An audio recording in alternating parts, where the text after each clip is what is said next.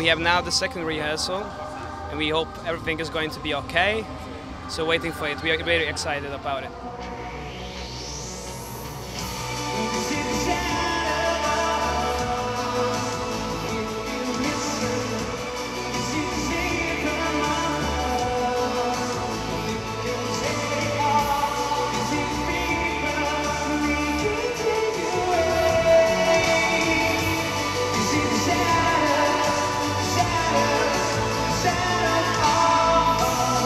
You tell us a bit about how you warm up and get prepared for going on stage? Is there anything specific you do? It's like jumping, like jumping a little bit, a little bit, uh, freaking out, something. But it's okay. We are not doing nothing. You know, we are waiting and we are doing our job after that.